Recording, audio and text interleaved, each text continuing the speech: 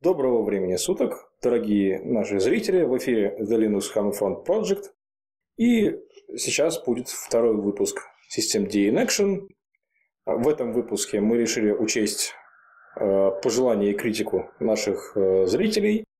А, поэтому мы э, рассмотрим на примерах действия основных, основного набора утилит.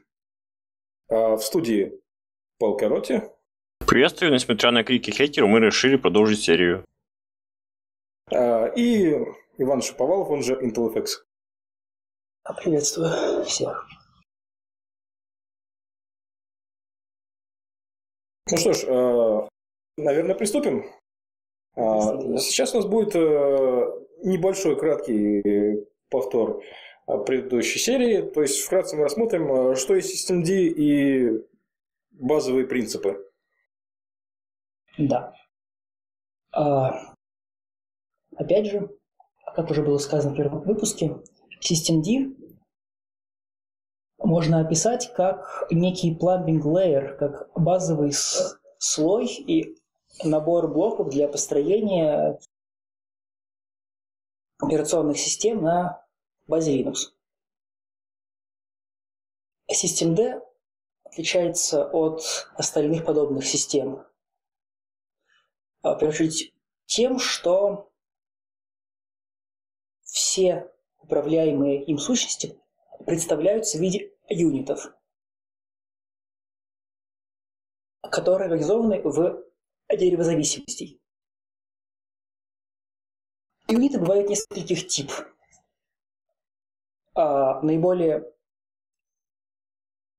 значимые из них это юниты сервисы, которые описывают запуск демонов, э, таргеты, цели, которые группируют другие юниты зависимостей, э, юниты устройства, которые описывают включенные устройства, экспортированные из UD, и mount юниты, точки монтирования.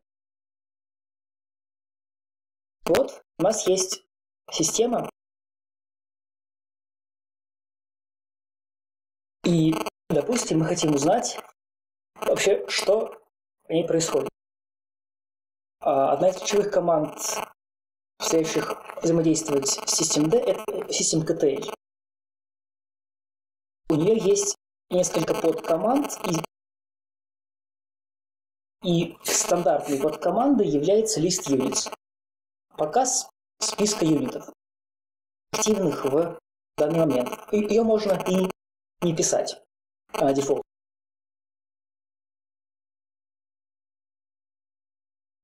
Вот мы видим список всех юнитов, активных в данный момент. Это некоторые устройства, точки монтирования и дальше набор запущенных сервисов. Против каждого описание и его состояние. Запущен, запущенный вышел и так далее. В конце списка нам предлагают команд а, параметром all, чтобы сказать также неактивные юниты, команды unit files, чтобы показать также э, незагруженные юниты, которые ни разу не использовались в командах и так далее.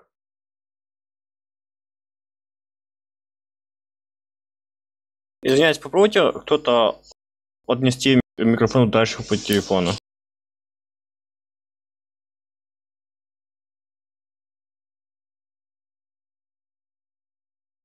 Общем-то, это лист, это команда list units.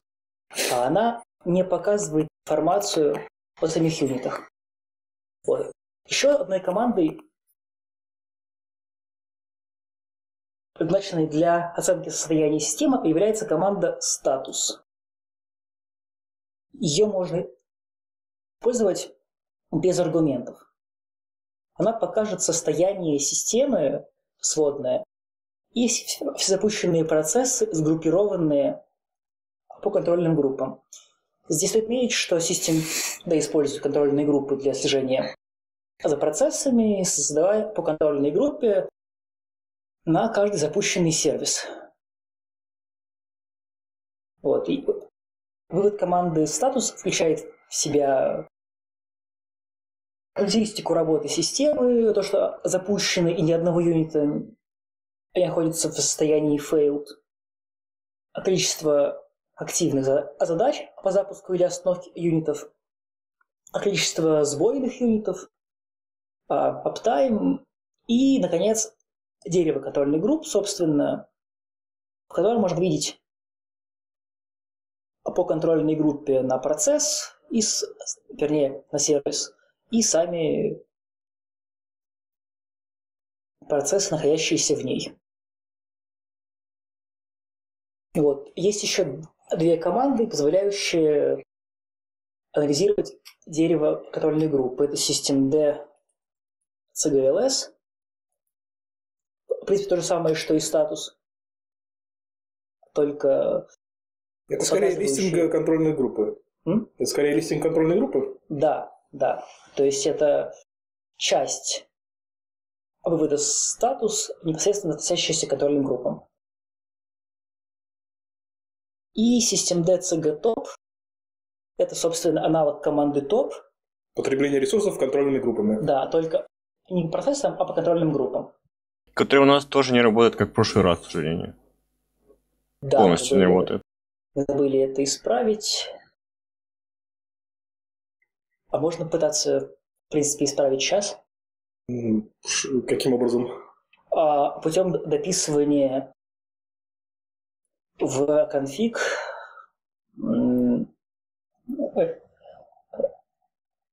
контроллеров CPU count и memory. Можно пробовать.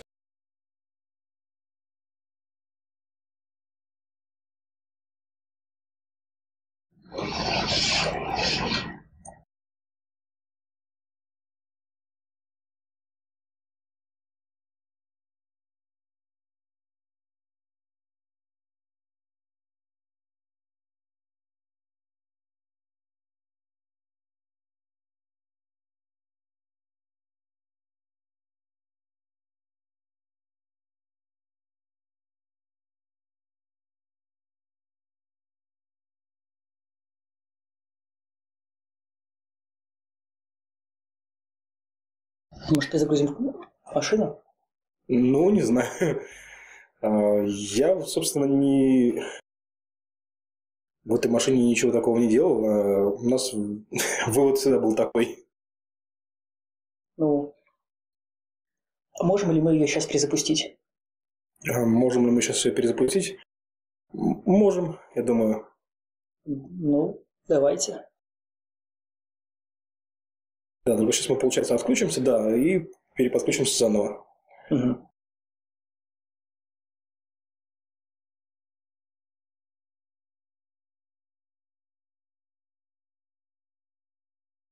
Так, машина сейчас перезапускается.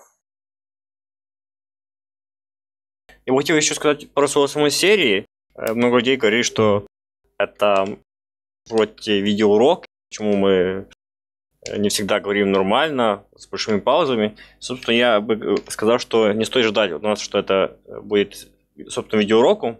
Это такое себе что-то смесь шоу и live session, что, мне кажется, если вы хотите именно видеоурок, то это немножко не по адресу.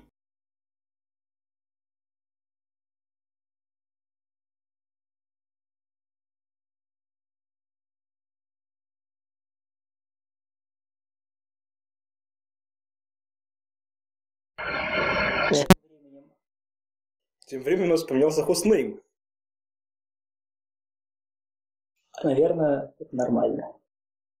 Да, можно оттачиться к нашему э, TMUX. И можно видеть, что, собственно, CGTOP ожил. Теперь каждой контрольной группе сопоставлен процент с основного времени и используемый, и также объем памяти Странно, почему это не включено по умолчанию. Не знаю, скорее всего, это проблема мейнтейнеров. Да, ну и может так, может быть, скорее всего,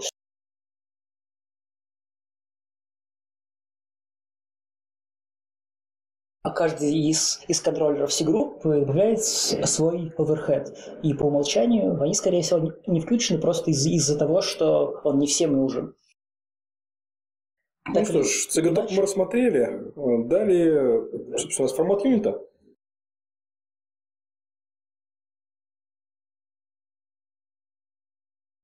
А, в- таковы средства систем D для анализа дерева контрольных групп.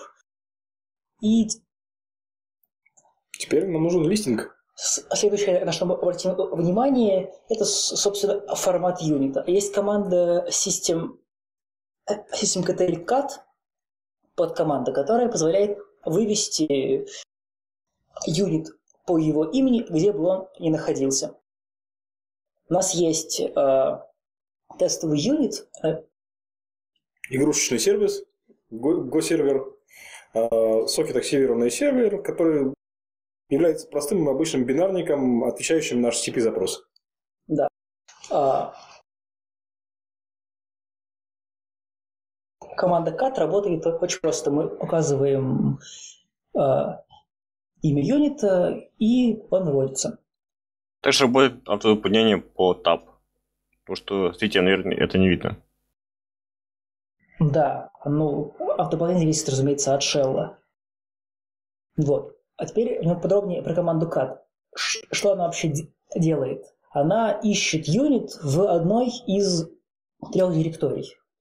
Собственно, юниты в системе хранятся в одной из трех директорий. Это slash run, systemd, system.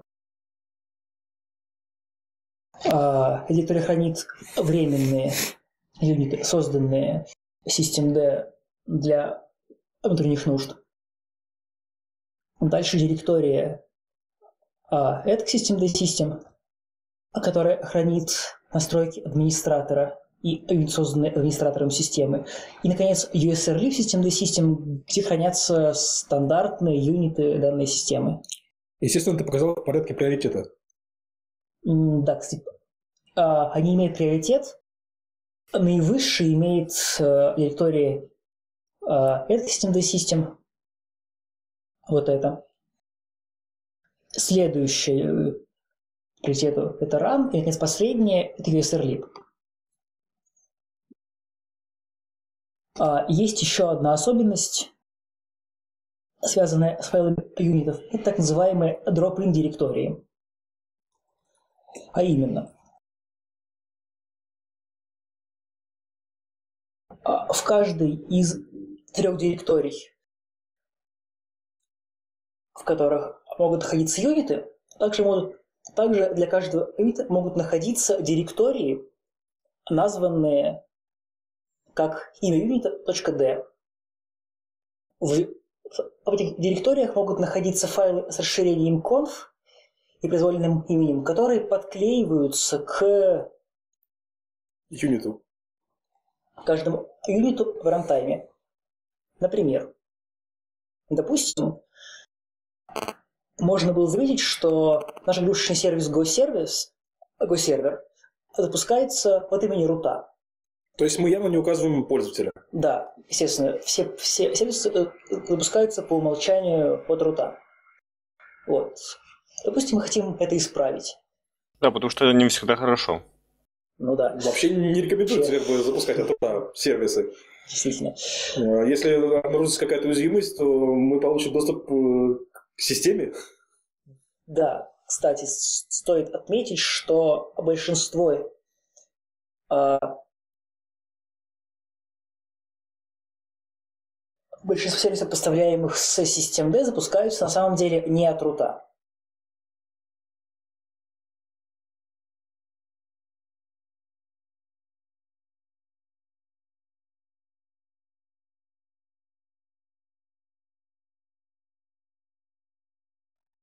Ну, Cockpit VS, это сервис, собственно, Cockpit в интерфейс Fedora. В частности, а,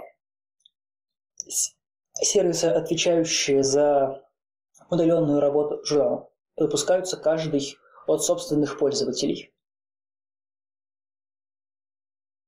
Лучше для каждого сервиса делать собственного пользователя и дать ему необходимые права. Ну, чтобы он не, повреди, не повлиял работу на других сервисов. Ну да. В общем, это автоп. А мы хотим э, изменить... Наш конкрет... сервис, GoServer. Да. да. Для... Так, чтобы он запускался от имени э, хотя бы Nobody. Итак, мы можем это сделать просто редактированием самого юнита. Но это не всегда э, допустимо и не всегда удобно. Допустим, если этот юнит находится в директории usrlib, означает, что нам при... пришлось бы его скопировать в директорию edc целиком и там уже править. Соответственно, если он обновится в usrlib, мы это пропустим. Вот. В SystemD есть способ расширения юнитов без их полного копирования в ETC. Это как, как раз таки директории с дропинами. Как я уже сказал, они называются по имени, по имени юнита и .d в конце. А, такую директорию можно создать для GoServer сервис. Сделаем это. Ну, и простой radostnobody.com. Создадим здесь произвольный файл, и может быть совершенно любым.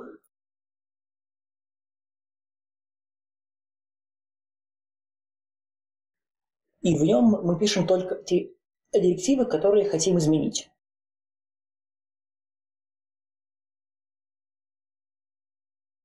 В частности, это директив user в, в разделе сервис. Хочу заметить также, что э, директивы не оверрайдятся, они дополняются, по идее. А, нет, зависит от директивы. То есть, а, то есть она может полностью есть оверрайдить. дополняемые директивы, есть, есть те, которые оверрайдятся. Вот. А дополняемые директивы можно обнулить присваиванием пусто, пустой строки. То есть директива что-то имеет больше приоритет? Что? То есть директива имеет больше приоритет, например, э, какой-то параметр Unity? А, ну, да, дропины имеют больший приоритет над а, юнитом из текущей директории и, и также играют роль приоритеты самих директорий. То есть дропин в директории EC, он приоритетнее всего. Только что мы создали drop-in файл, который устанавливает пользователя нашего сервиса в Nobody, но если мы еще раз сделаем system.ktl cat, можно видеть, что... А, уже, уже изменился, да? Странно. В прошлый раз э, запускал э, system.ktl э, да. рестарт. Э, Demon Reload. Demon Reload, да довольно странно. А так или иначе, директива появилась. Непонятно почему, но, но вообще говоря, после изменений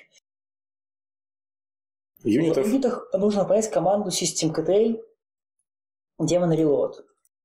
Для перечитывания юнитов. Вот, так или иначе, сейчас system.ktl показывает юнит вместе с дропином. Собственно, это, это как раз то, зачем нужна эта команда, чтобы показывать эффективную версию этого юнита, включая все, все дропины.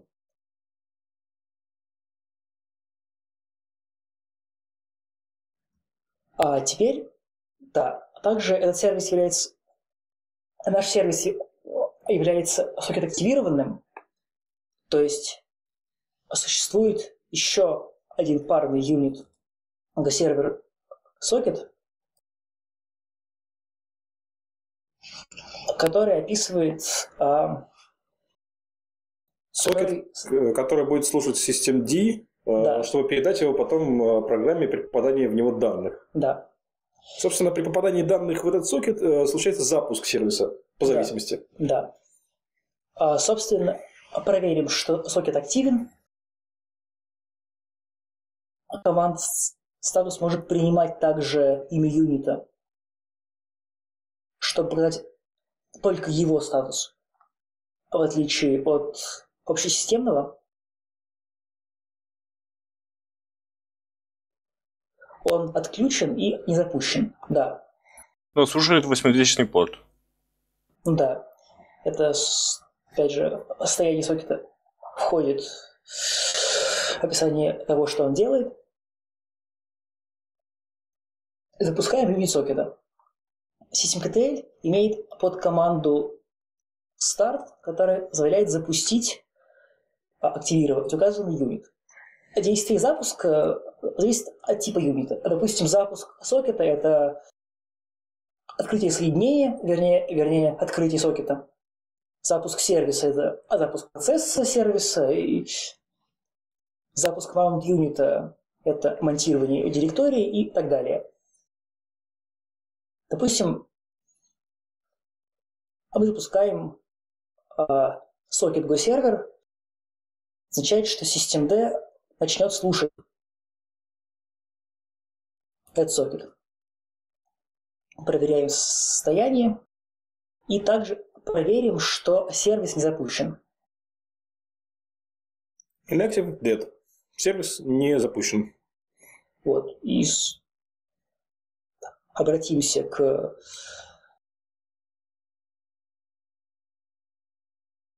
к адресу этого сокета и видим, что сервис нам отвечает. Сервис запустился и, и отвечает. Вот. А, но команды start-stop, они управляют только текущим состоянием юнита.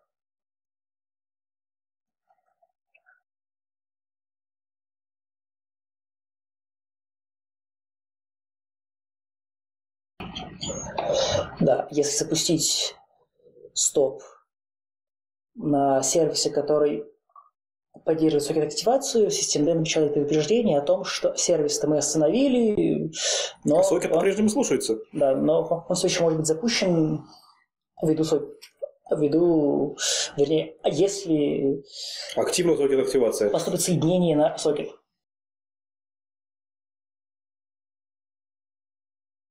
А, это первая пара команд для управления сервисами, старт-стоп. Вот. Но если, допустим, мы еще раз перезагрузим систему, мы увидим, что сокет а, остановился и не запущен. Это происходит потому, что старт-стоп описывают только текущие, вернее, запускают и останавливают юниты только одномоментно. А SystemD, разумеется, поддерживает добавление, ну, некий аналог автозапуска. Для его управления есть, есть подкоманда enable disable. Допустим, можно сделать так, чтобы сокет активировался каждый раз при старте системы.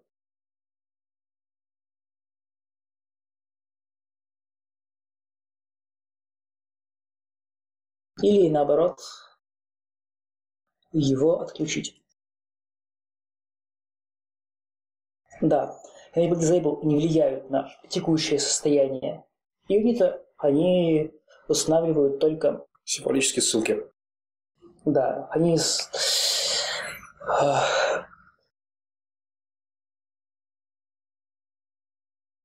Disable удаляет линк. Ну да. Да, команда Enable Disable на самом деле читают секцию install рассматриваемого юнита. Снова посмотрим systemd-cat, и мы видим директиву install и опцию want to buy. Собственно, а, что делают команды enable disable? Они читают секцию install указанного юнита и выполняют действия описанные в этих секциях.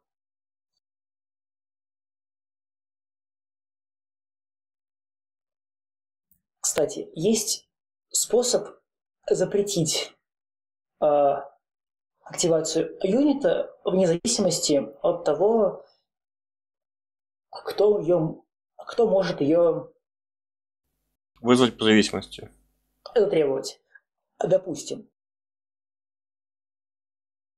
на примере того же сокета Go сервера или игрушечного сервера. А, или сервиса самого. Ну, а, допустим, мы, останов... мы остановим сервис,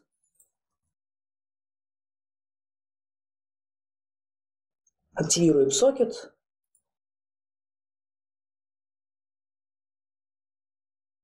и, опять же, при доступе по, по адресу сокета сервис запустится.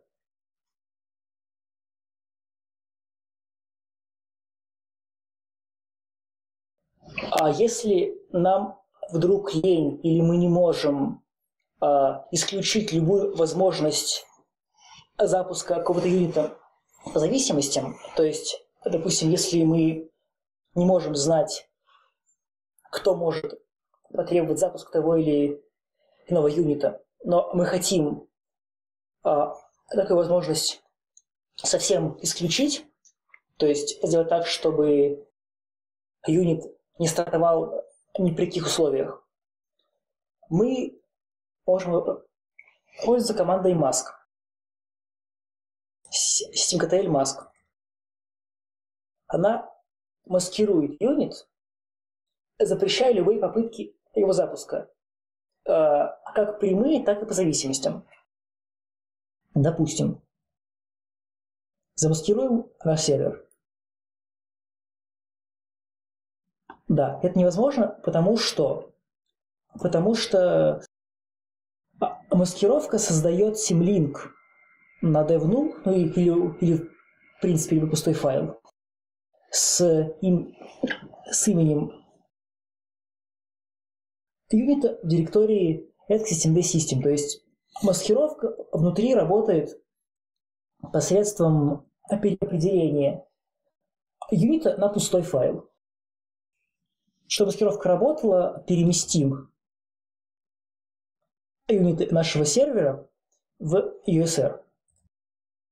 В смысле, в USR Leaf System the System.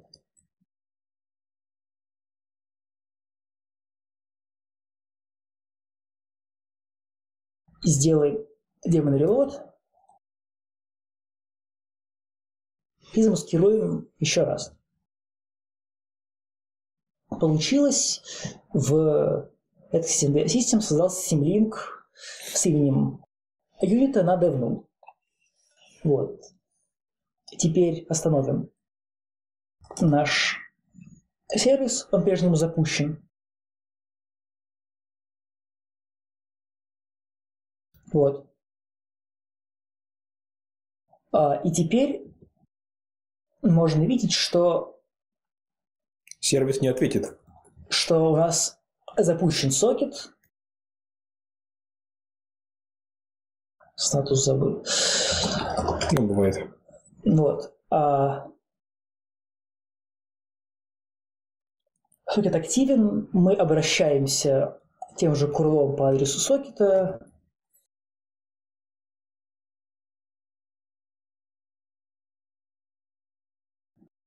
И мы не получаем Соединение висит. поскольку мы сервис он заблокирован. Что замаскировали сервис. Он вот. просто не может запуститься и ответить. Да.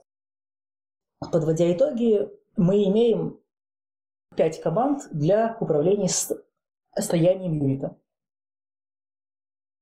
Первая пара – это SymCTL Start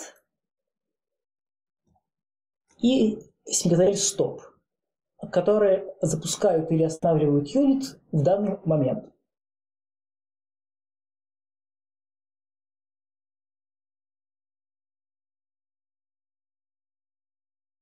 Так они работают. Кстати, почему запустился сокет?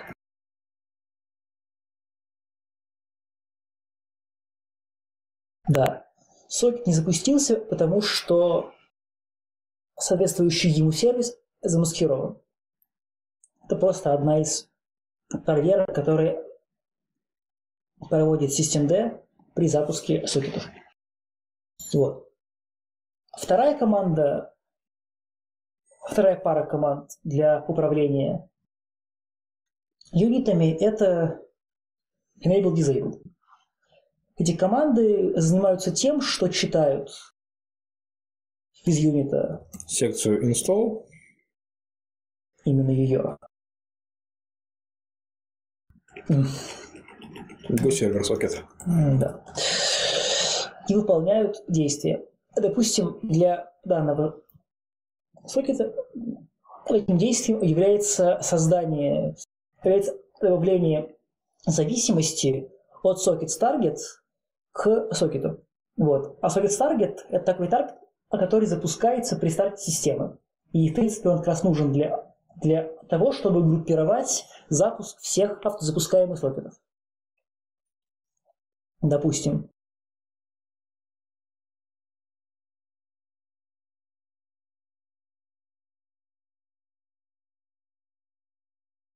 Допустим, мы сделали enable на, на, на этом сокете, создался Simlink из директории socket target what.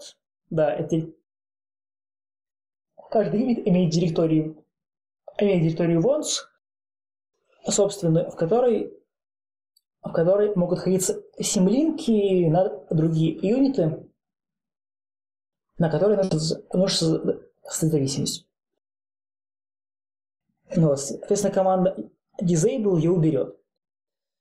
Да, и э, э, команда mask, которую мы уже, уже смотрели, она маскирует а юнит запрещая любые попытки доступа к нему. Вопрос а, глупый. Я, собственно, здесь э, новичок, поэтому я здесь для глупых вопросов. А маск есть? Да, конечно.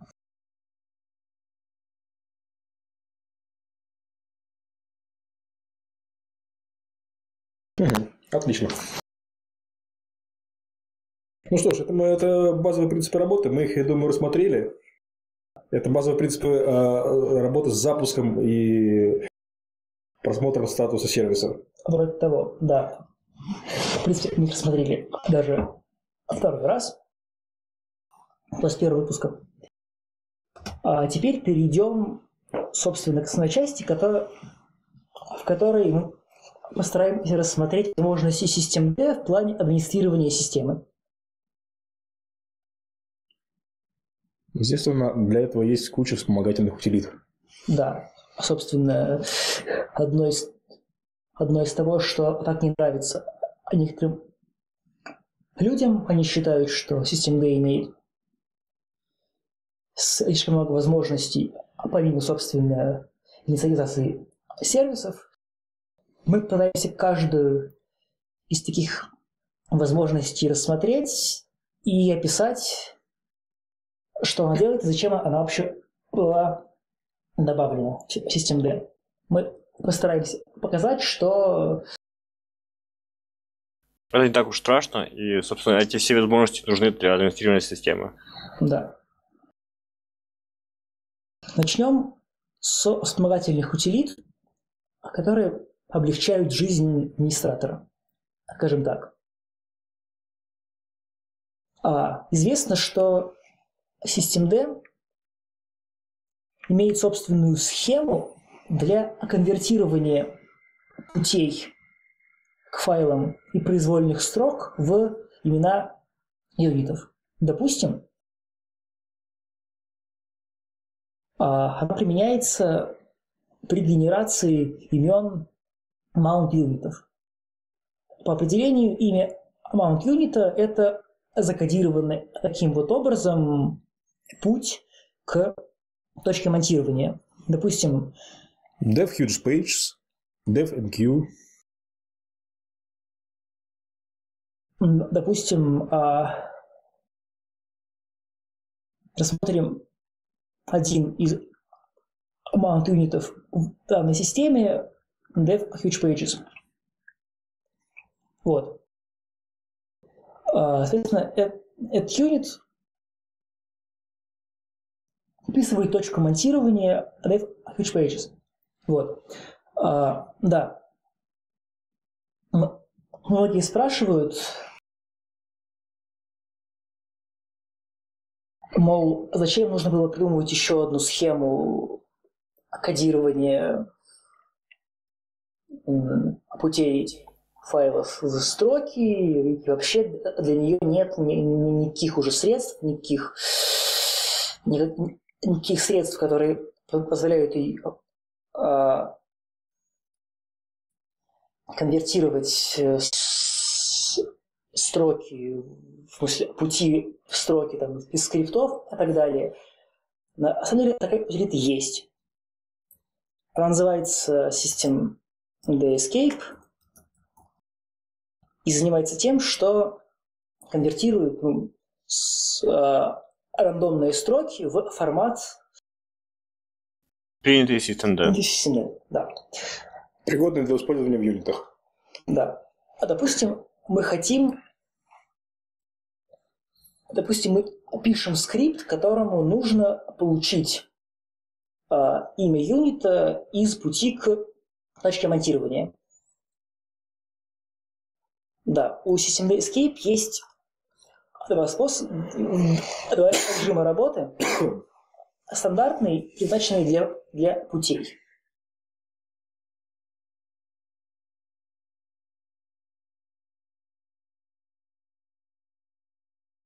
У нас э, слыши в данном случае заменяются на минусы. Если добавляем path, исчезает первый минус, что может нам помочь, если мы передаем это как параметр другой программе. Потому да. что в данном случае э, минус d воспринят как ключ. Нет, ну даже так. Просто схема кодирования путей состоит в том, что минус, соответствующий первому слышу, убирается. То есть ну, просто это а, в этом состоит Вся суть кодирования путей. Да, ну, а сам старт кодирования. Вот. А, это, это утилита предназначена, в принципе, для использования в скриптах. Что-нибудь наподобие вот такого. Допустим, мы хотим... Вывести содержимое юнита. М? Вывести содержимое юнита? Ну, допустим, или просто узнать статус э, а юнита монтирования по данному пути.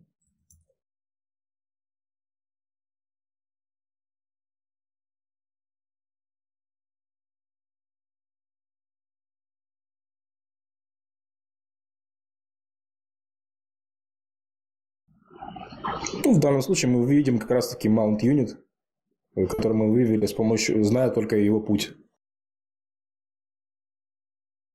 Вот. Это первая утилита. System Escape.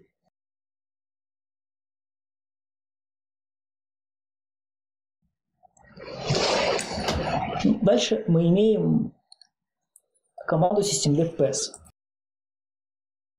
А, известно, что а, в systemd был разработан разработано некоторое подобие а, стандарты FHS на пути к, на, на общесистемные, общеизвестные пути в Linux-системах. Скрытая это была доработка стандартов FHS. Да, действительно. Вот. Он написан в команд странице файл hierarchy системной категории. И, собственно, утилитов э, систем DPS позволяет вывести все стандартные пути, которые systemd ожидает от данной системы, скажем так. А, что вот я заметил в этой утилите, ну, немножко отлично от поведения systemd, а, утилит остальных. Она не перенаправляет этот вывод на пейджер, если она не помещается на один экран. Да.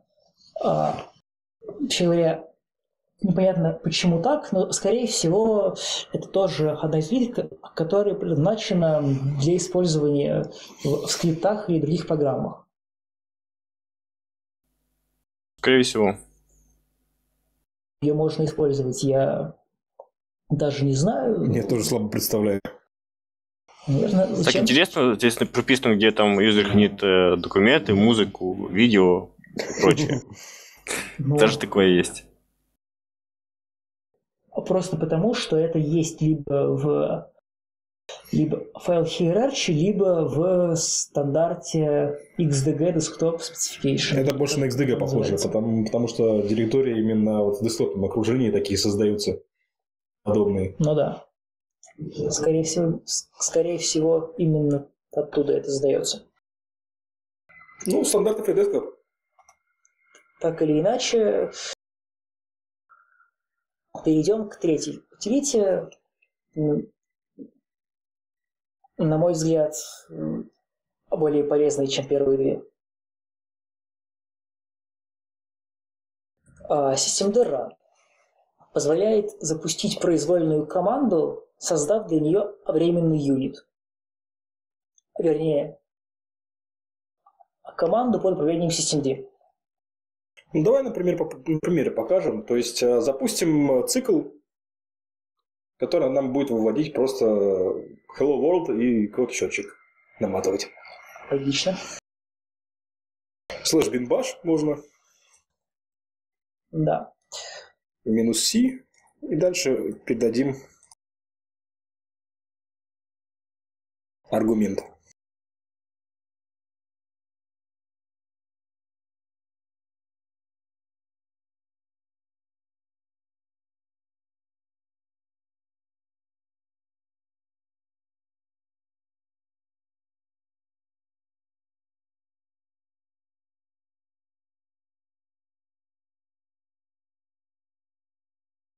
Собственно, а, после запуска этой команды Unity нам показывается имя юнита, под Время которым юнита, который был создан. данная команда. Его можно использовать всех остальных. Точно так же, как сервис. Да, то есть, то есть это, это такой же юнит, как и вс- вс- все остальные. Автоматически сгенерированный только.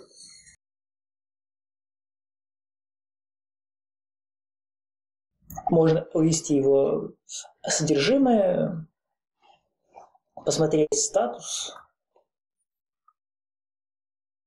да и все остальное, что... Вот мы видим, что у нас, э, собственно, выводится счетчик с Да. Hello World.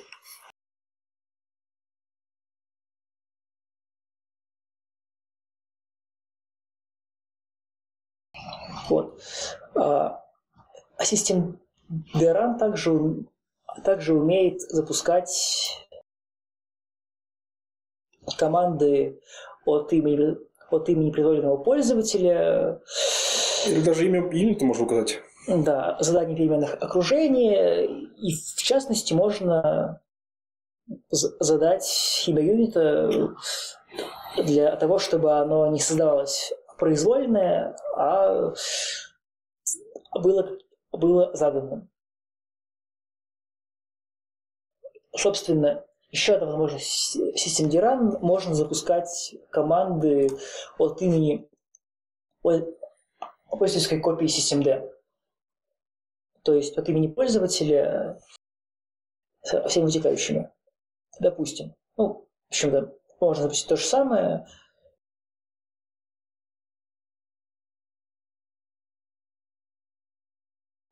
А, ты не А. указал пользователя. От Nobody запусти. Нет.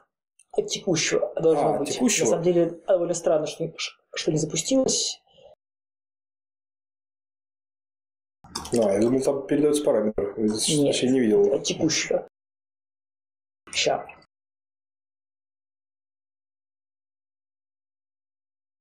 А, у нас еще root. М,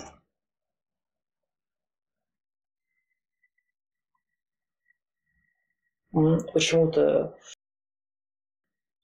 юзерская инстанция не запустилась.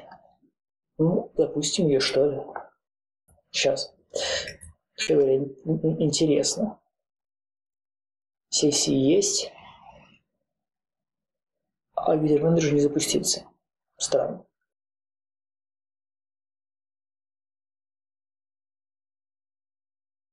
Скорее всего, здесь просто нет его в системе. Только root. Нет. Собственно, для рута тоже должен был запуститься. Странно, что, странно, что это не произошло.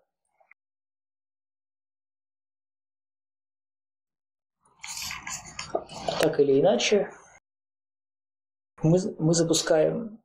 В пользовательской сессии? Да, теперь можем запустить э, команду уже не просто от имени пользователя, а под управлением копии системd, работающей от имени этого пользователя.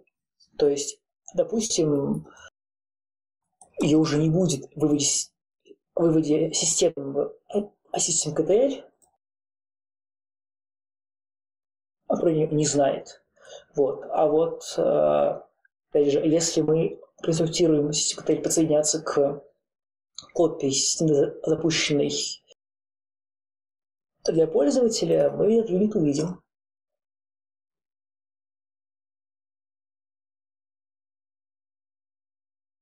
Вообще говоря, довольно полезно, чтобы запускать э, какие-либо живущие процессы, принадлежащие пользователю, поскольку очевидно, что для управления, для управления системной копией системы требуется права рута. Вот, а для управления копией пользователя, в принципе, никаких прав не нужно. Вот. То есть это довольно удобная штука. Но, но, стоит, но стоит отметить, что systemd user, к примеру, запускается вне всех сессий, то есть команды, запущенные из, из, из, из такой копии systemd, они не имеют ни переменный дисплей, а если у вас иксы ничего такого, они, запускают, они работают вне всех сессий, то есть не имеют прав доступа к устройствам. То есть запускать какие-либо приложения, имеющие интерфейс или требующие прав, таким способом не стоит. Или не то, что не стоит, а просто ну, без костылей невозможно.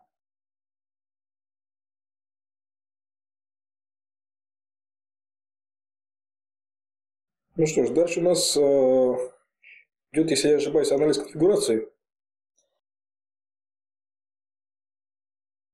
В, в общем-то, это, это все вспомогательные утилиты, которые... Да, собственно, перейдем к утилитам, вернее, перейдем к рассмотрению того, как можно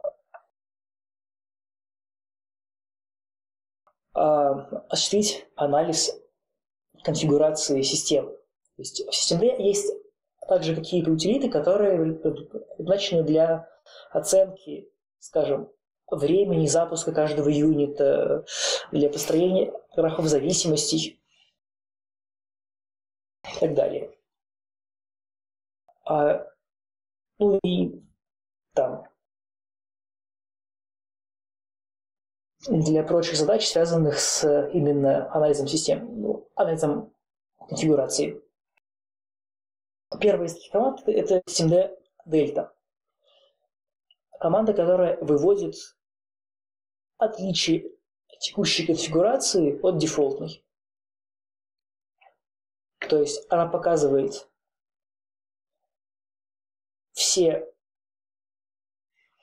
все дропины для юнитов, все замаскированные юниты, переопределенные и так далее.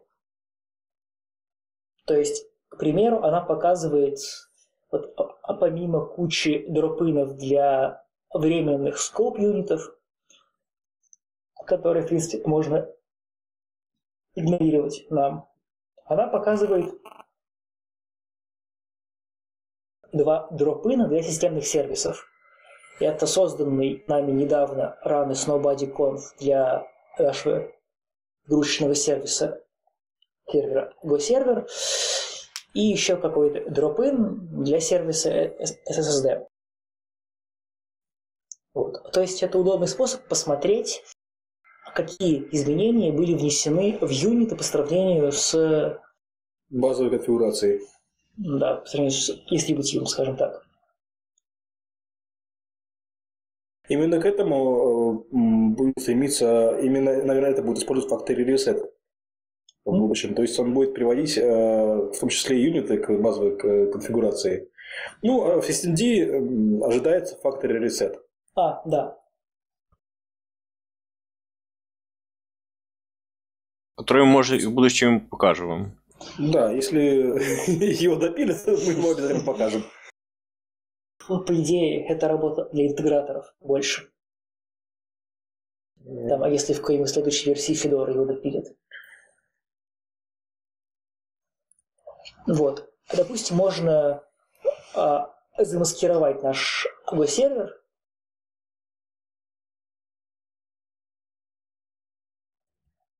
еще раз сделать дельту. Мы увидим уже запись masked, а, наглядно показывающую, что юнит был замаскирован, и что нам не следует э, а, удивляться. Если он у вас вдруг не заработает. Да, не заработает. Просто одна из утилит для показывающая сводную, сводную информацию о всех переопределенных юнитах. Скажем так. Вот.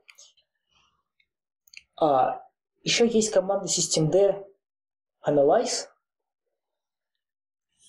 которая довольно многофункциональна. Она имеет пять подкоманд, а часть из них показывает информацию о времени запуска юнитов, и еще часть строит разные графики.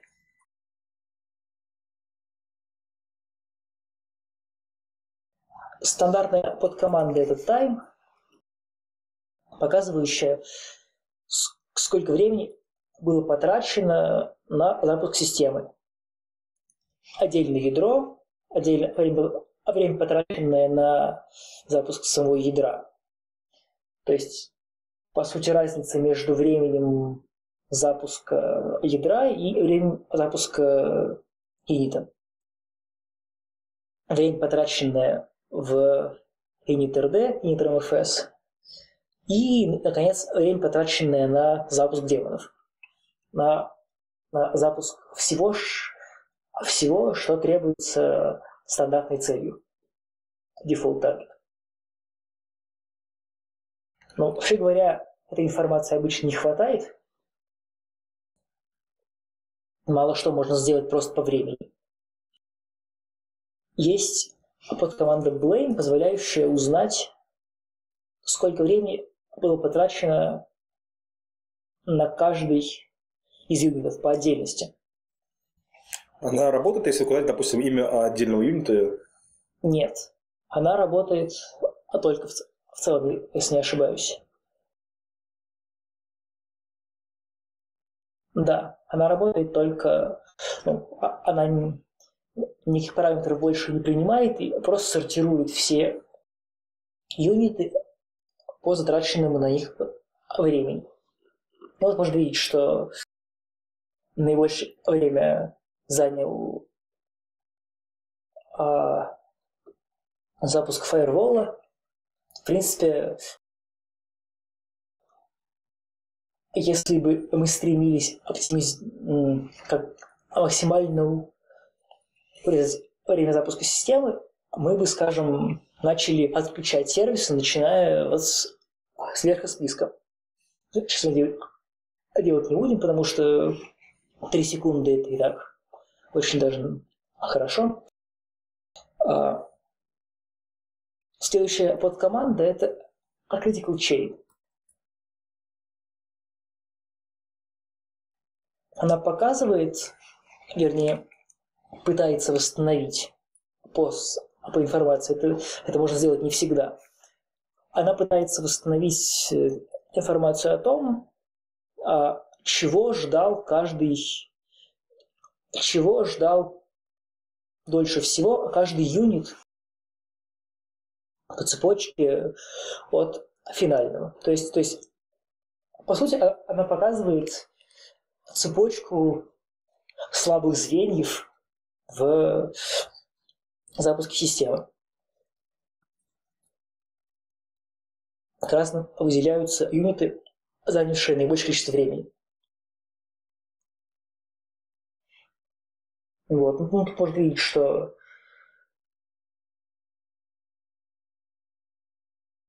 что долго запускался Firewall и долго... Запускался Apache. Ну, даже нет.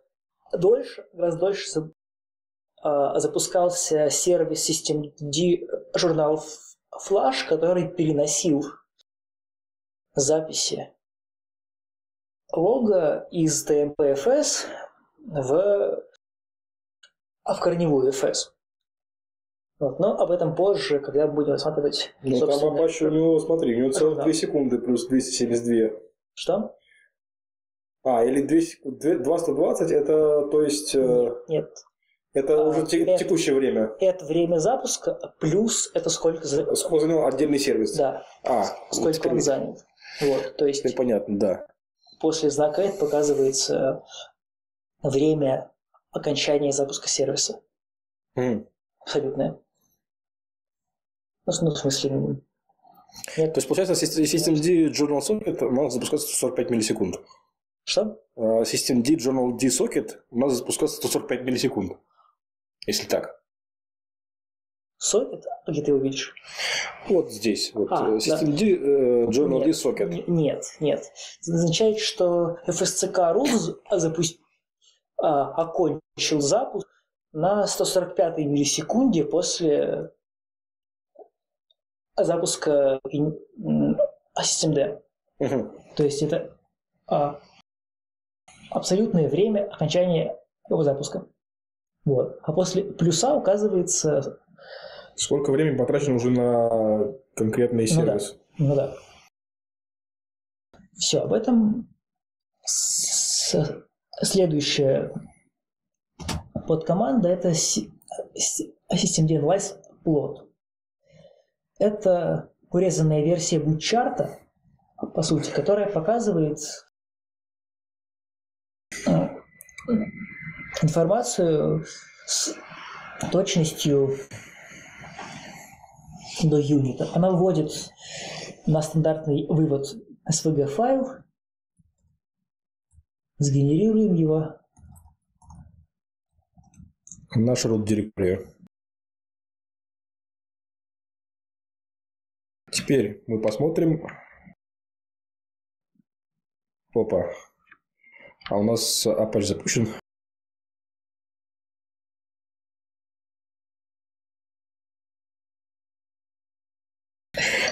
Запущен. А, наверное, у нас все-таки поднялся firewall. Да. Так, давай мы сделаем IP tables минус-минус flash грохнем все правила фаервола. Отлично. Теперь мы видим наш плод SVG. И вот, here we go.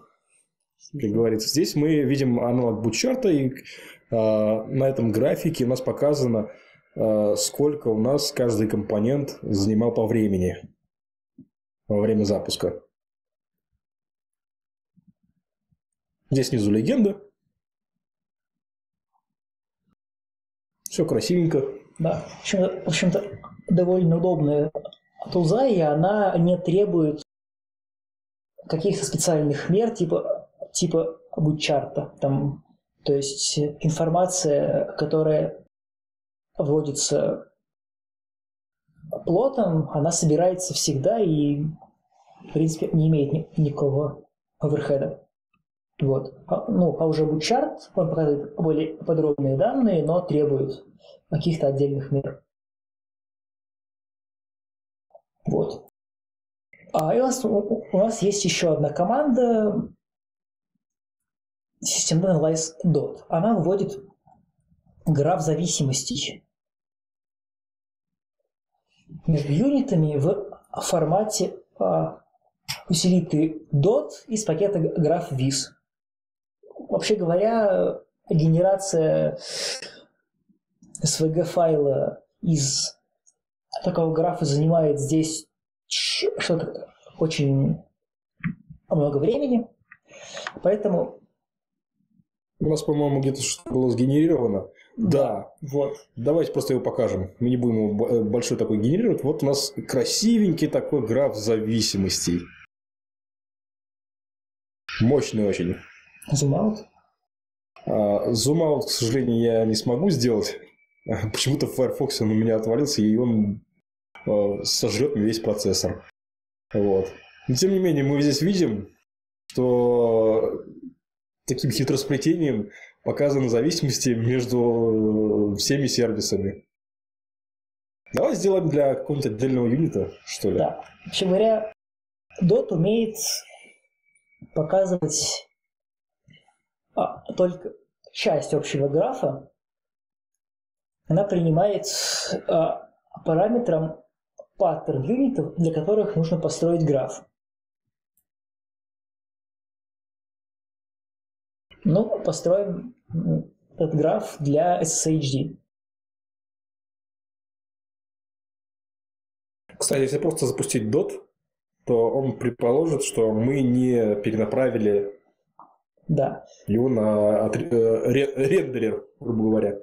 Да, собственно, то есть э, DOT, ну, под команда DOT, она выводит output в формате, собственно, DOT, и если мы запустим эту команду без перенаправления, она покажет комментарий о том, что нам стоит перенаправить вывод в команду dot.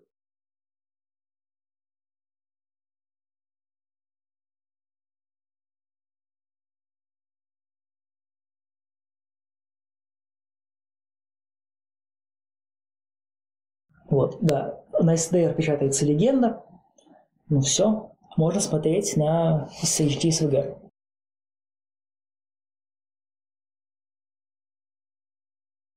У нас перегенерился файлик. Здесь мы видим маленький аккуратный график. Гораздо более приятный, да. Да, гораздо более приятный.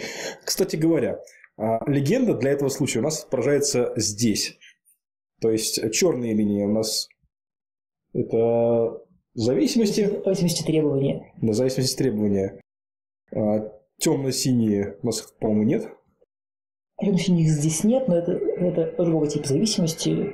А про них можно в этом будет отдельно сказать. Темно-серые. Темно-серые это, это мягкого требования зависимости. А вот. У нас есть. Естественно, красный. Красный это конфликт. Да, конфликты и зеленый это в зависимости порядка. Ну вот, собственно, такой красивый график. Вот. Все, об этом система Device больше ничего не умеет.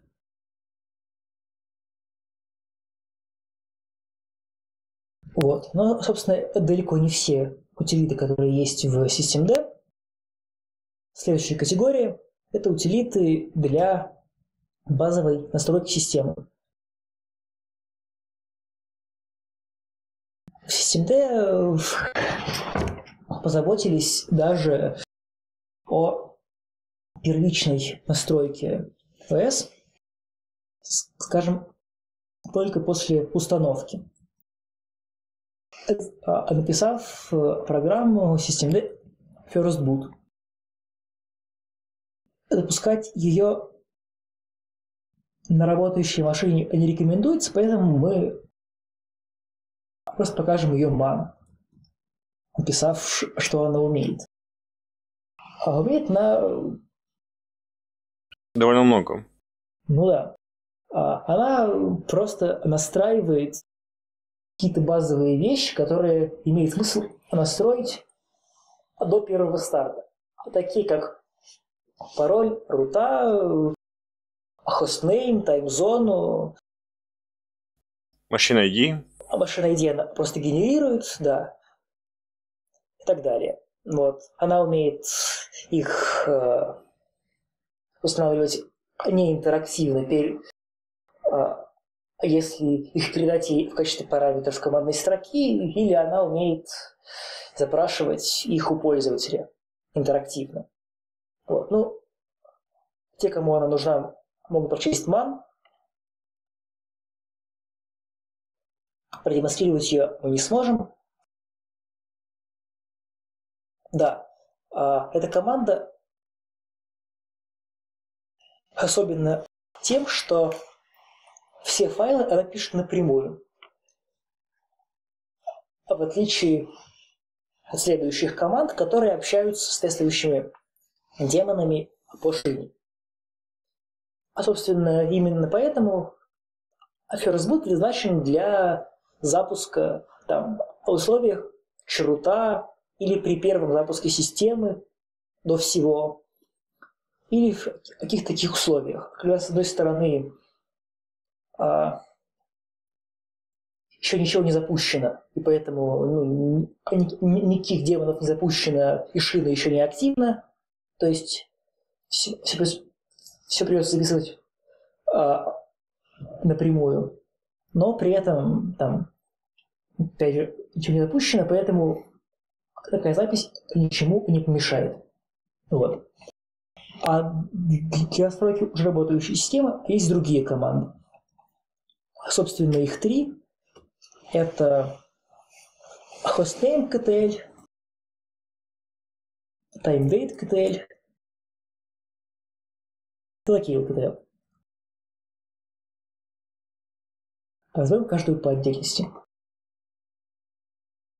Каждая из этих команд а, обращается к своему микродемону, который запускается по требованию, то есть только при выполнении KTL команды и останавливается после, ее, ну, после завершения ее работы. Зачем это сделано? В принципе, довольно просто объяснить. А, если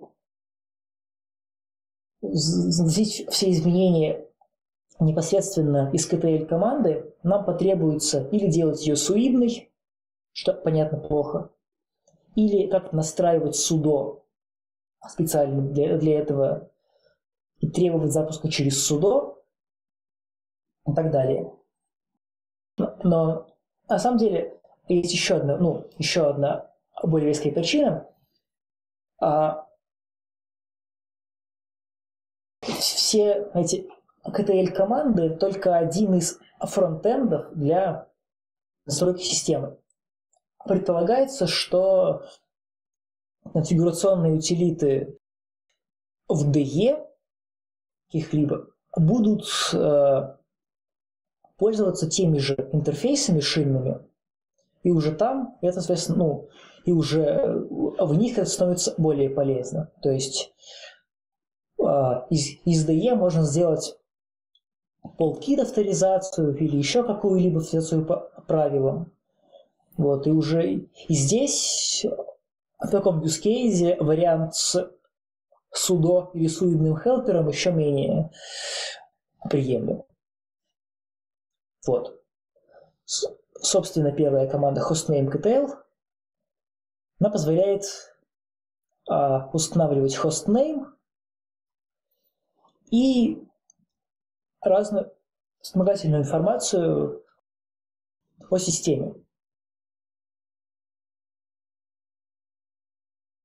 Такую как название икон, которые нужно этой системе, системе ставить соответствии, или там названию места, в котором она находится. Все это просто строки, которые сохраняются в AdQS релиз, и, в принципе, они действуют ни на что, кроме каких-то э, утилит, которые их показывают. То есть все эти вещи, кроме хостнейма, они совершенно опциональны и пассивны. Кстати, никто не в курсе, где показывается, например, icon name. Наверное, в гноме какого-нибудь. Или в кокпите. Да, кстати. А, интересно. То есть это вот как раз для таких вещей. Вот. Ну, для нас интересна только команда setHostName. Кстати, есть три режима работы. Transient, Static, Pretty.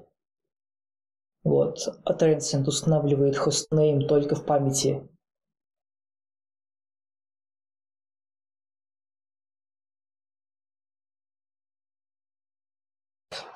оперативной памяти, то есть только на текущую загрузку. Вот. Статик устанавливает его только в файле от hostname. И Pretty... Знаешь, что это? Я, к сожалению, не знаю. Ну, наверное, э, Наверное, что-то, что связано... Наверное, она не использует не FQDN, а именно да. имя хоста. Да, скорее Не всего... fully qualified domain name, а простое сокращенное Ну, наименование хоста. Скорее всего. Я предполагаю так. Ну, возможно, стоит обратиться к Ману. А, хотя... Ладно. А следующая команда из этих трех это Time Date KTL. Еще предназначение понятно из названия. Команда, которая таким же способом позволяет устанавливать время, временную зону и активировать или деактивировать NTP-сервер. Давайте, может, попробуем понять таймзону. Этот сервер, как мне кажется, находится в Амстердаме. Да, сервер находится в Амстердаме.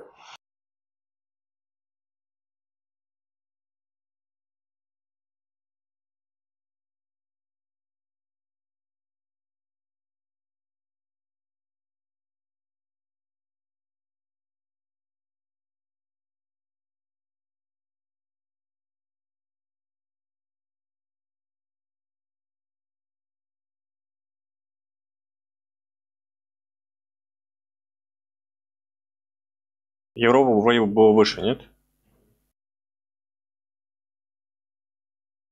Вот она, Европа. Ага. Ну вот с помощью лист, лист таймзонс узнали точное имя этой таймзоны и зададим ее с посредством команды set timezone.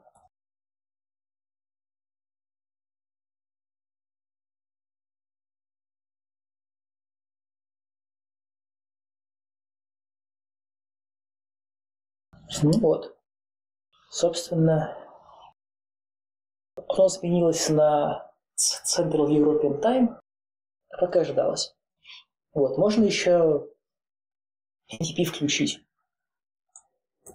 Кстати говоря, недавно в одной из последних версий Systemd а, с- сменили определение TimeDate D, естественно, ну и в частности команды SetNTP.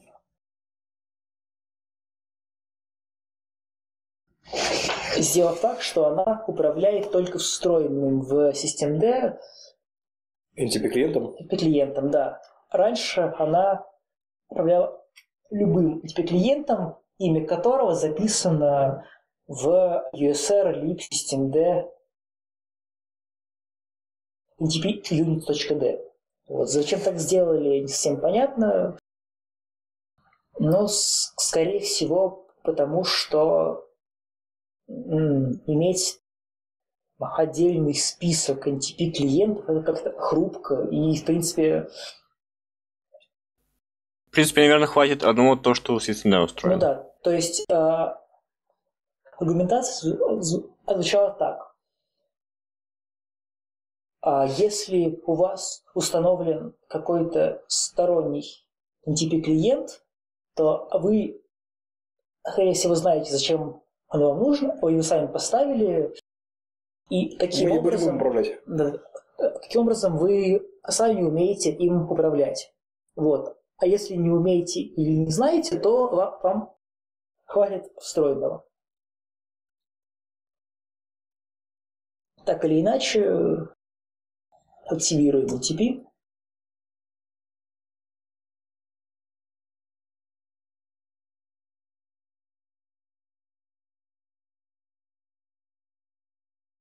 Собственно, enabled а, состояние изменилось на enabled, то есть при следующей загрузке системы он запустится. Да, NTP enabled мы видим. Вот.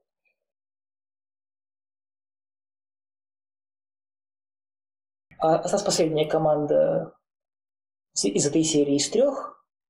Лаки LPTL.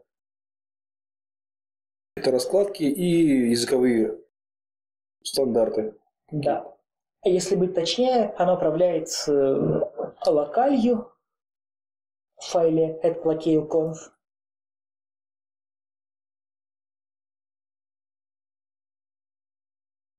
Не знаю, давай попробуем на Руру UTF-8 поменять. Кстати, мы еще не сказали, что здесь можно включать летнее время. Это как раз э, DST. В смысле, в таймдейт? Да. Если я не ошибаюсь, э, летнее время, ну, вернее, наличие летнего времени или его отсутствие, оно определяется Зоной? зоной. Это не то, чем можно управлять. То есть, то есть оно или есть в таймзоне, или его нет. Управления им нет. Обычно это указана информация в ТЦ-дата? Ну да, ну то есть, ну, ну да, а, оно есть. Ну да, ну, летнее время. Оно, оно ассоциировано с каждой таймзоной по отдельности, поэтому управлять им нельзя. Оно или есть, или нет. Ну, проще довериться ТЗ-дата в данном случае. Ну да. Кстати, немножко автопика. Э, мне кажется, или нет, но, по-моему, у, например, у MySQL э, какие-то свои настройки ТЗ-дата. Зачем? А вот не знаю, чем-то это было обусловлено. Занятно. То есть он не считает э, системные настройки ТЗ-дата. Вот. А у него какие-то свои, по-моему, своим пакетом даже предоставляемые. То есть, представляешь себе ситуацию, когда а, вот как в случае с Россией сейчас было, вот, ну, да. а, ТЗДА требовалось удалить, чтобы не получить рассинхрон на серверах. Вот. А тут у тебя получается так, что еще и MySQL отдельно надо обслуживать. И вот я понимаю в данном случае, что, например, э, тот же SystemD, ему тоже вот полагаться на TestData выгодно в данном случае. То есть ну, это не какая-то отдельная, какая-то отдельная сущность. Мы носим, э, мы доверяем тому, что приходит в одном стандартном пакете. Ну, это логично. Да, довольно странно выглядит поведение мускуля. Ну, может быть, чем-то это обусловлено. Ладно, вернемся к, к SSD, вернемся к KLPTL. Еще раз, что он умеет? А умеет он устанавливать локаль и настраивать две подсистемы. Настраивать подсистему виртуального терминала мысли в этой подсистему ядра и настраивать иксы. Не иксы, а точнее э, иксовый конфиг. Это раскладка да. иксов. Соответственно, запущенные иксы здесь не требуются. Ну что, попробуем на RUR UTF-8 поменять? Допустим. А лист locales у него есть? Как видно, есть. А, да, вот тоже вижу лист locales. Угадал. Синтакс тот же. Так, ну. Ага. Да, RUR UTF-8 есть.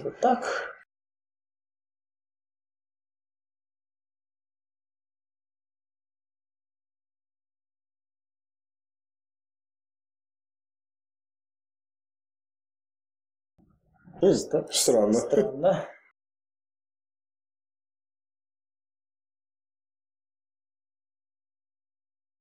Верные санкции.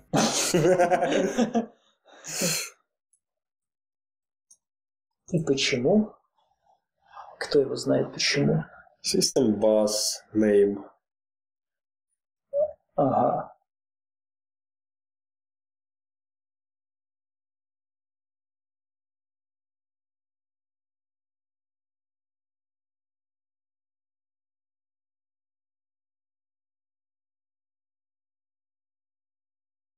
Ага.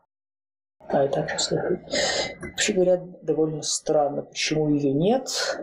А, естественно, я просто забыл синтаксис.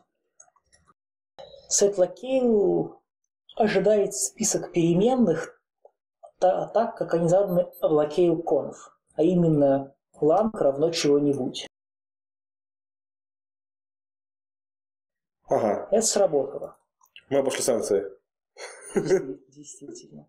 Собственно, все, что делает SetLocale, это пишет в locale.conf. Продолжаем. А, Соответственно, еще можно указать keymap для ядерной консоли. Он не используется, поэтому оставим это. И настройки XKB, настройки XO, настройки XKB для XO клавиатуры. Интересно, когда будет Вейланд? Что они предложат? Но, очевидно, впилит новые вызовы на шину. Хотя, скорее всего, мне кажется, Вейланд будет, ну, это кажется, что было бы логично, если Вейланд читал общесистемные настройки и каким-то образом им бы соответствовал. Я не знаю как, но посмотрим, скажем так. Так или иначе, под команда set is 11 keymap не требует запущенных иксов.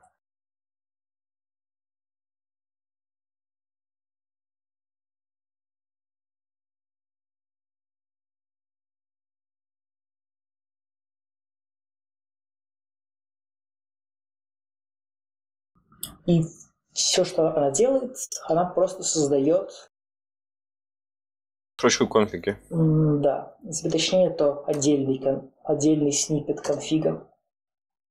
Ну, в общем-то, все, что было, все, что было указано в том же синтаксисе, просто было записано в конфиг. Довольно-таки удобно. Ну, да, это, ну, опять же, это сделано ради унификации, ради общего шинного интерфейса.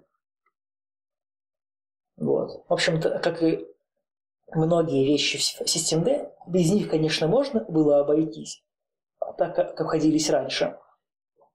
Но, опять же, одной из целей проекта является унификация всего, что можно. Вот, поэтому это есть. Вот. Лакей ЛКТЛ мы исчерпали. И перейдем теперь к утилитам, которые работают во время запуска. А именно, еще одной целью системы является избавление от шелла в запуске. Поэтому для каких-то частых случаев конфигурации системы был написан набор маленьких утилит, которые запускаются при старте системы и, и делают какие-то специализированные вещи. Допустим, создают временные директории, подгружают модули, настраивают э, системную консоль, в смысле, в смысле ВТ, собственно, ядерную консоль. Вот. И вообще такие вещи. Наверное, это система DTMP Files. Ну, я предположу. Да. Допустим, одна из задач – создать, представить систему какую временную директорию. Вот, или там, или, или записать что-нибудь в один из файлов в иерархии proc или sys для настройки ядра. Обычно все такие вещи делались из скрипта local или аналогичного.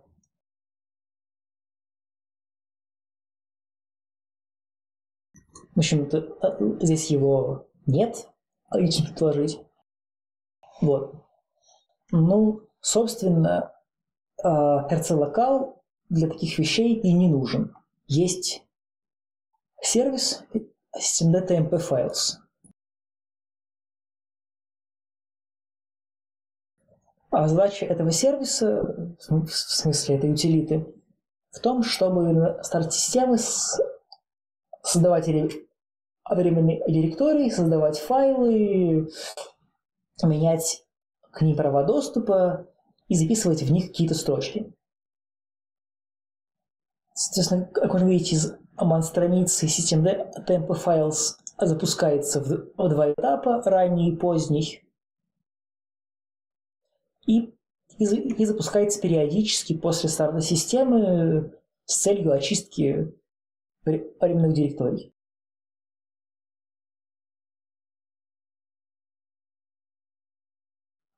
У данной утилиты, разумеется, есть свой конфиг.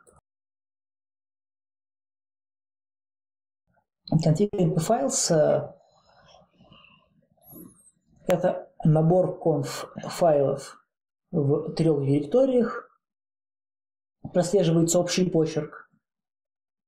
Стандартный USR-lib, временные в RAM и администраторские в ETC. Имеющие наивысший приоритет. Ну да.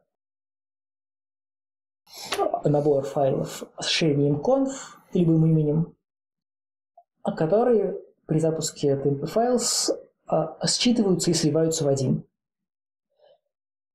собственно, набор, вернее, собственно, файл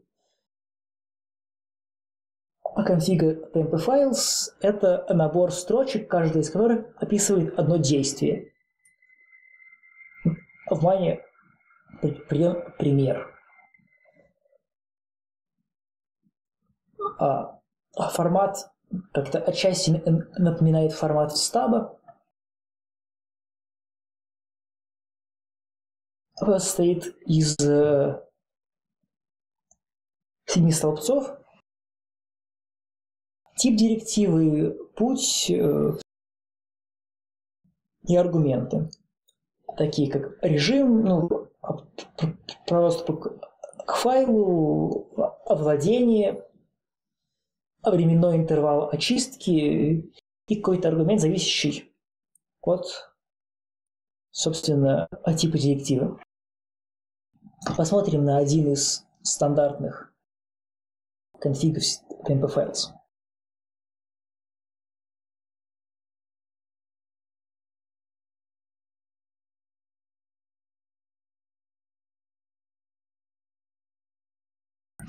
Начинается он как так, создается директория run user, в, в ней устраиваются права, в ней создается пустой файл а, run utmp, только, а только если он еще не создан, по-моему, или как, как это. Ну, то есть сказательный знак э, э, это такое условие. Не помню. Надо, надо посмотреть.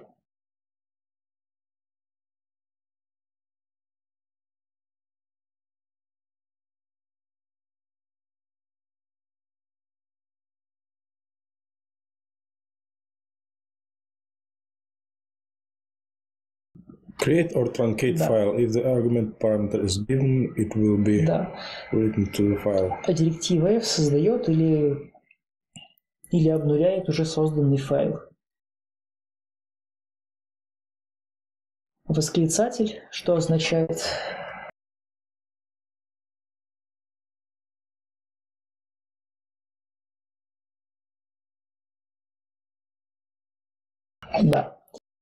означает, что данную директиву нужно пропускать при запуске TMP Files после окончания запуска системы.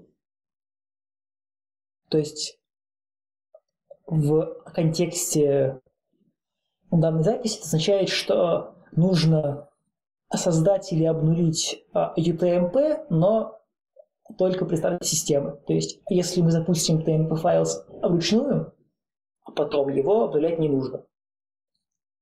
Ну, что, в принципе, логично. Потом, э, а после этой записи идут какие-то создания других директорий, но на них поставиться не будем. В принципе, значение tempo files уже понятно. Следующая утилита из этого набора – это systemd модуль slot. Еще одна утилита, которая, ну, смысл а, написания которой, в общем-то, может быть только один. Избавимся от shell при запуске системы.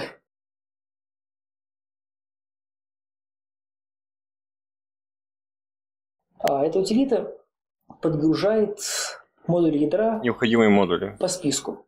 То есть имеется конфиг модуль slot D такого же вида.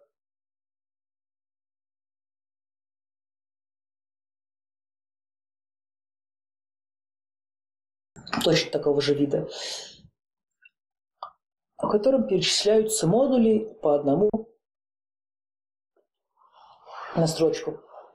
И эта утилита просто их загружает. В общем-то, описывать здесь больше нечего. То есть это такая себе замена booklist.conf? Нет, нет, нет, нет, нет.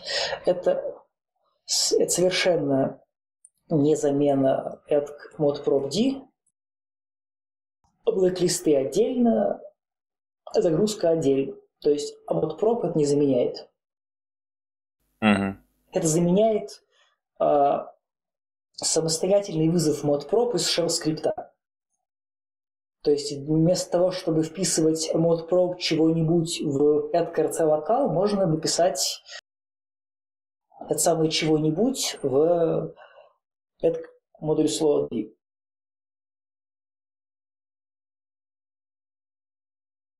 И все, не более того. Блэк-листы и аргументы к модулям описываются отдельно, там же, где и раньше.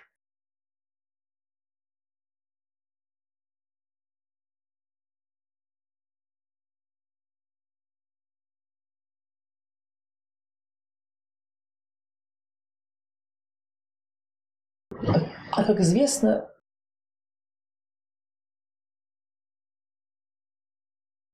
а, ядерная консоль тоже требует настройки при старте системы. Для ее настройки в системе есть еще одна микротулза, vConsole Setup. Она запускается только при старте, считает файл at vConsole.conf и настраивает по нему под систему АВТ ядра. То есть это тот самый keymap, который настраивается из locale Также можно задать shift, и, по-моему, что-то еще можно было здесь сделать.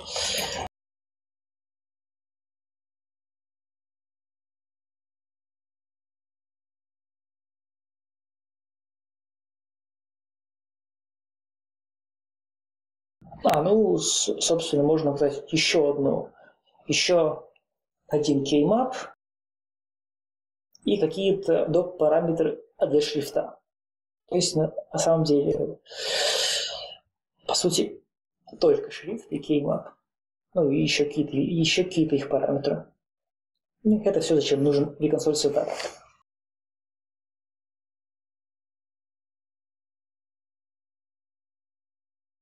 А следующая утилита из этого набора Systemd Users.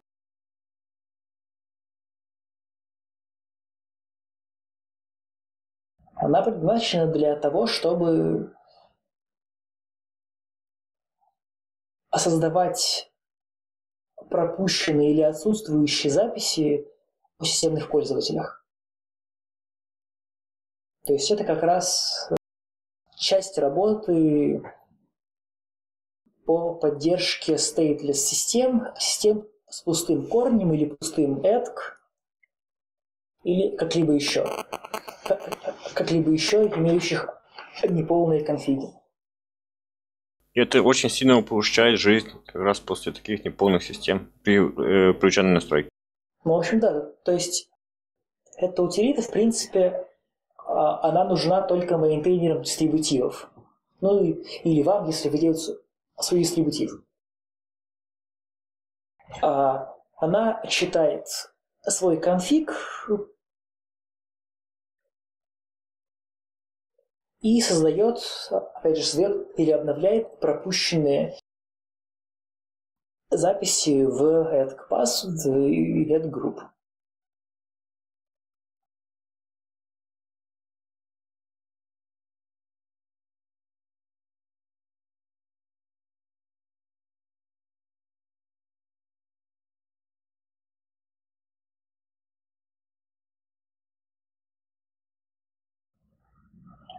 Конфиги оформлены в стиле похожем на TMP Files. Опять столбцов. Четыре столбца. А в каждом тип директиве кит параметр. В принципе, ничего особенного. Просто еще одна туза для, для настройки системы. Наконец, последнее – это systemd bin fmt. Из названия я что-то не очень понял, понял, зачем она, но сейчас увидим, да. Тоже более-менее внутренняя административная штука. А, да, вспомнил, она точно. Настраив... Она регистрирует в ядре форматы файлов выполняемых. Ну, например, очень полезно может быть для экзекутейблов э, виндовых, чтобы запускать их с помощью Wine, например. Ну да. Опять же, в, в принципе, да, даже в Мане есть даже ссылка на Вайн. Да. Видимо, Вайн самый популярный пользователь. Если не единственный. Ну, а что ж, э, какой-то другой... Нет, скоро, может быть, будет и Дарлинг, кстати говоря, если его допилят. А, а его допилят? Вот не знаю. Ну, понимаешь, просто так сам по себе Дарлинг бесполезен. Тебе нужно еще фреймворки тащить, заставлять их Ну да. работать, все вот Ну, это ну вот. да. Кстати, Дарлинг, если кто не знает, это средство для запуска э, без эмуляции э, с помощью некоторой прослойки э, бинарников из Mac OS X. Ну да. Не знаю, конечно, чем оно может понадобиться. А? Не знаю, конечно, чем оно может понадобиться в текущем состоянии, но Ну, пусть будет.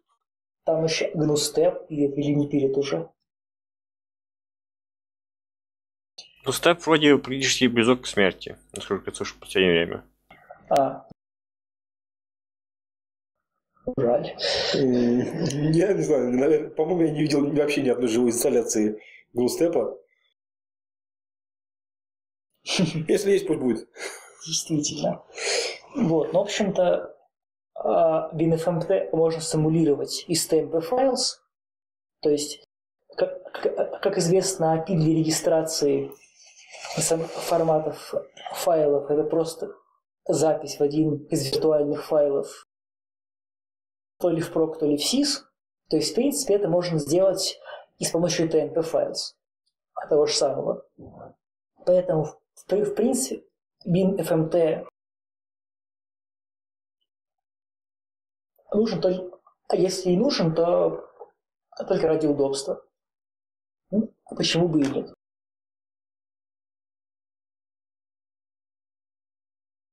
А, собственно, вот и все.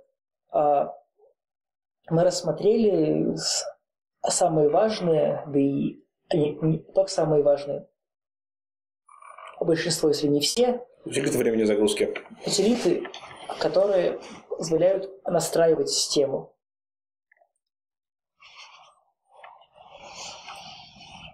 Вот.